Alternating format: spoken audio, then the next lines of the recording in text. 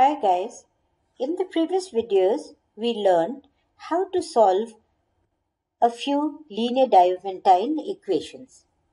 Here we will see how to solve yet another type of linear Diophantine equation which is a single equation in three variables x, y, z. Before we begin, we will give one general theorem. The theorem states that if we have a single equation in n unknown variables x1, x2, xn and the equation is a1 x1 plus a2 x2 plus dash dash an xn is equal to c where all the ai's are integers then even the right hand side c is an integer then such an equation has a solution if and only if the GCD of all the coefficients ai divides the right hand side c. This theorem we will apply to our equation ax plus by plus cz is equal to k. Let's look at one example. What if we are asked to find the equation 5x plus 15y plus 20z is equal to 1 is solvable or not? First thing we will do is find the GCD of 5, 15 and 20. Here we see the GCD is 5. And then check whether 5 divides the right hand side or not. We see 5 does not divide 1. Hence, such an equation does not have a solution. Let's look at another example. What if we have to find the solution of 8x plus 6y plus 14z is equal to 10? We'll again do the check. We will see the GCD of 8, 6 and 14 which is 2 divides the right hand side 10. Hence the equation is solvable. Now to solve the equation what we do we take any two terms to start with. Either we can take 8x plus 6y or we can take 6y plus 14z or we can take 14z plus 8x and equate it to the GCD of the coefficients times a variable u. What if we take the two terms 6y and 14z from our equation and equate it to GCD of 6 and 14 times the variable u? We will get 6y plus 14z is equal to 2u we'll substitute this equation in our equation 1 and that will give us 8x plus 2u is equal to 10. You've reduced your equation 1 into an equation with two variables which can be easily solved. What if we divide it by 2 all over? We will get 4x plus u is equal to 5. Such an equation can be solved easily because it is a linear Diophantine equation in two variables x and u. The initial solution can be seen to be 1, 1. If we take x value to be 1 and u value to be 1, we know that 4 plus 1 will give us the right hand side 5.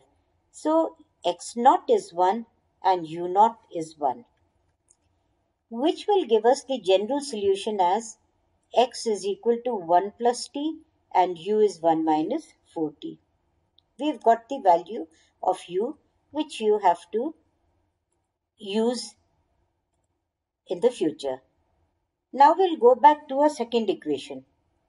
Divided by 2, we will get 3y plus 7z is equal to u. We will solve this. You know that if y naught is taken to be minus 2 and z naught is taken to be 1, then we can write 3 and 7 as a linear combination of the GCD, which is 1. So, we get 3 minus 2 plus 7 into 1 is equal to 1. In our equation 3y plus 7z is equal to u, which we had to solve, right hand side was u Let's multiply by u all over. we will get 3 minus 2u plus 7u is equal to u. Substitute the value of u which you had found earlier as u was 1 minus 40 into this equation. Now this equation was in y and z. So the general solution becomes y is equal to y naught which is minus 2 plus 80 plus 7 times t1. 1 is the GCD so we'll write this as 7t1 and z is equal to z naught which is 1 minus 40 minus 3 times t1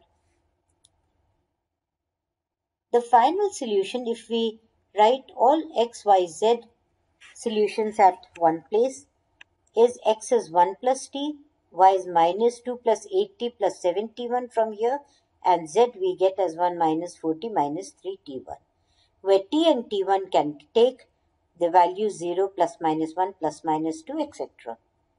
Let's check whether the solution which we have found is correct or not. If we take t and t1 to be 0 and substitute in these three equations, we'll get x, y, z as 1 minus 2, 1. Substitute and you will see that the equation is, original equation is satisfied. We keep on giving values to t and t1 and we'll get different solutions x, y, z. Which, and this is the reason we get infinite solutions. As we said in the beginning, we can take any two terms. So here let's try what if we take 8x plus 6y and equate it to GCD times the variable u. We will substitute this in our equation 1 and we'll get 2u plus 14z is equal to 10. We solve this Diophantine equation in two variables u and z. And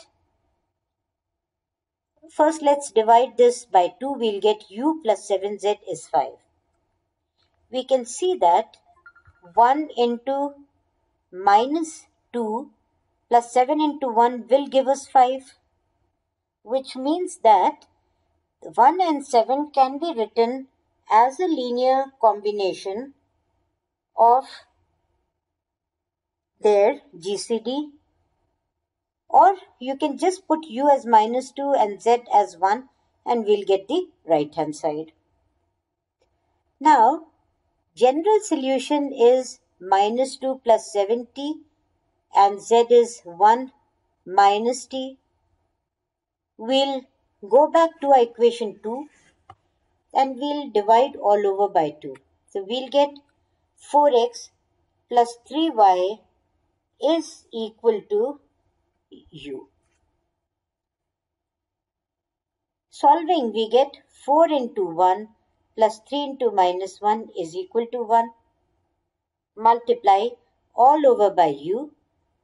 We will get 4 into u plus 3 into minus u is equal to u.